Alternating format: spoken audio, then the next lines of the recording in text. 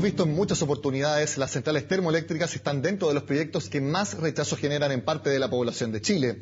Sin embargo, hay emprendedores que han sabido sacarle provecho a la presencia de estas generadoras. De hecho, uno de ellos cultivó exitosamente una variedad de pez tropical que crece en aguas cálidas tal como la que devuelven estas centrales después de usar agua de mar para sus procesos. Queremos conocer esta iniciativa y por eso nos acompaña Daniel Nieto, gerente general de Covia Spa. Daniel, gracias por su tiempo en Agenda Económica. Muchas gracias. A ver, le cuento, la primera vez que yo leí sobre su emprendimiento, me fijé netamente en que se usaba agua de las centrales termoeléctricas. Eso ya de inmediato da una connotación positiva, como lo decía en mi introducción, a unas centrales que tienen rechazo dentro de la población. Cuénteme, ¿cómo llegó a la opción, a la idea de cultivar peces con agua que suelta las centrales termoeléctricas?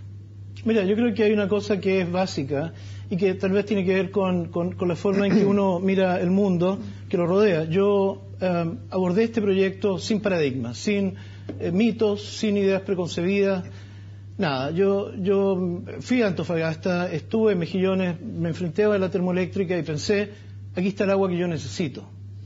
He hecho peces, salmones durante 25 años de mi vida, he aprendido de los mil eh, situaciones que ocurren a diario. Eh, soy veterinario, tengo formación de producción animal.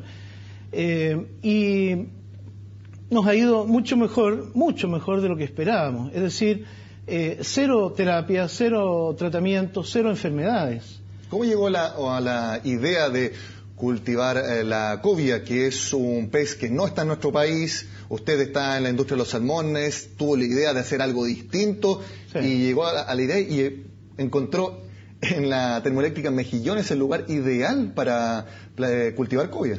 Exactamente. Bueno, después de 25 años haciendo salmones, me me dieron muchas ganas de, variar. Y en, el, tiempo en que esto ocurrió, estaba muy fuerte un tema que se llamaba el programa de la diversificación de la acuicultura chilena.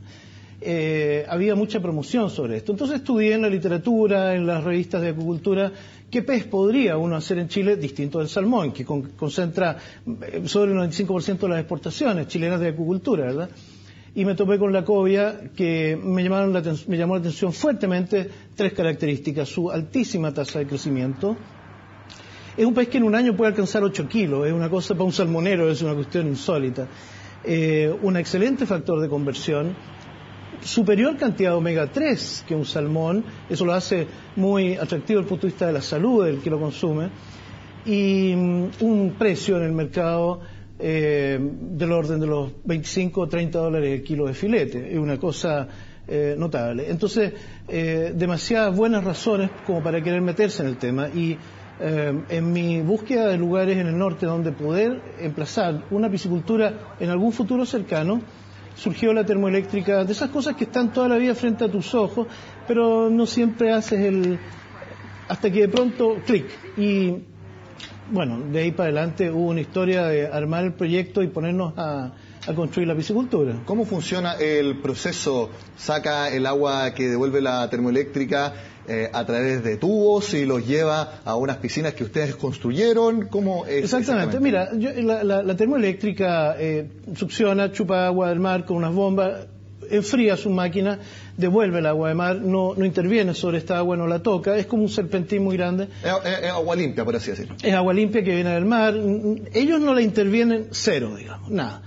Y yo en algún lugar pusimos como un collerín, se llama en la jerga de las cañerías, sacamos un poco de agua, la, la metemos en nuestros estanques, la recirculamos, que es una, es una de las técnicas que se emplean para la acuicultura. Hay pisciculturas de flujo abierto, y hay pisciculturas de recirculación, donde tú recirculas el agua todo el tiempo, reemplazando un 1 o un 2%, con lo que creas un ecosistema que debes tener la habilidad para saber manejarlo. Hay una química del sistema, etcétera. Y funciona perfecto porque le da estabilidad al, al, ambiente donde se crían los peces. Usted entonces es, una, es un cultivo contenido. Es un cultivo contenido en estanques. La cobia en Chile, en el mar chileno, con la temperatura del mar chileno, no es viable. Se muere por la temperatura. Sí, lo demostramos. De hecho, la subsecretaría, cuando nos dio el permiso, nos pidió que dentro de las varias experiencias que tuvimos que desarrollar respecto de salinidades y temperatura, nos pidió exponerla a la temperatura del mar chileno. ¿A qué se parece la cobia para personas que nunca han comido cobia? Mira, es, muy difícil describir un sabor. ¿A qué, ¿A qué sabe una chirimoya? Pero a, qué, variedad se parece? pero, pero podría ser una mezcla entre una albacora y un congrio. Es un pez delicioso. De verdad, es muy rico. Es una carne blanca, suave, consistente, admite muy bien el trabajo en la parrilla. Sushi, sashimi, ceviche. Eh, tal vez entre un congrio y una albacora, pero es difícil describir un, un sabor. Daniel, ustedes recibieron el primer embarque de OAS desde Estados Unidos en octubre de 2012. Ya ah, tienen eh, bastantes miles de, productores, como ustedes lo, detallan. ¿En qué etapa está Covia Spa eh, respecto a su proceso como empresa? Mira, nosotros hoy día estamos con cuatro grupos de peces importados, el de octubre del 2012, diciembre del 12, junio del 2013 y marzo del 2014. Los tres primeros grupos ya tienen reproductores en edad de poder eh, reproducirse y de hecho dos, los dos primeros de octubre y diciembre ya se han reproducido. Para nosotros como acuicultores es un hito, un orgullo tremendo. Eh, nos abre las puertas a mirar con mucho más tranquilidad para adelante eh, porque tenemos nuestros propios huevos fecundados.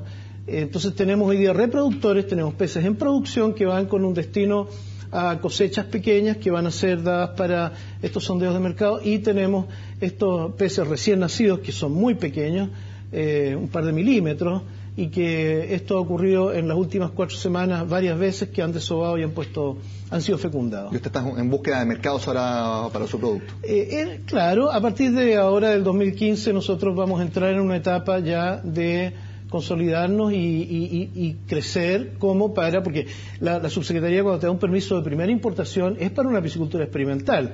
Como piscicultura experimental la piscicultura es enorme, como piscicultura comercial es muy pequeña.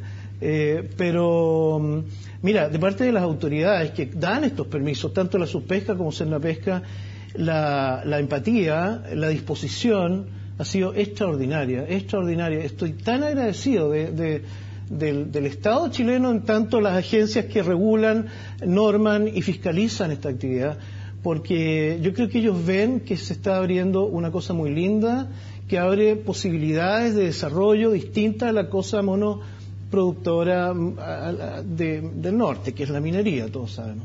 Bueno, todo el mercado gastronómico entonces tiene que estar atento porque ya va a haber una nueva variedad de pez para los restaurantes y también para otros lugares de nuestro país. Daniel Nieto, muchas gracias por su tiempo en Agenda Económica. Me das un minuto. Yo eh, quisiera decir que no voy a olvidar nunca la, y voy a agradecer toda la vida la, visión que tuvo SL, porque ellos podrían no haberlo hecho. Definitivamente podrían haber dicho, no, aquí hay mucho riesgo, no sabemos, no, en fin. Sin embargo, lo hicieron. Quiero eh, poner un énfasis en esto porque estamos ahí gracias a ellos, en definitiva. Bueno, muchas gracias por estar en nuestro programa y bueno, y con esta entrevista que muestra cómo se puede sacar un emprendimiento de lugares bastante insólitos. Terminamos esta semana en nuestro programa. Como siempre, los invito a que sigan con nosotros en CNN Chile.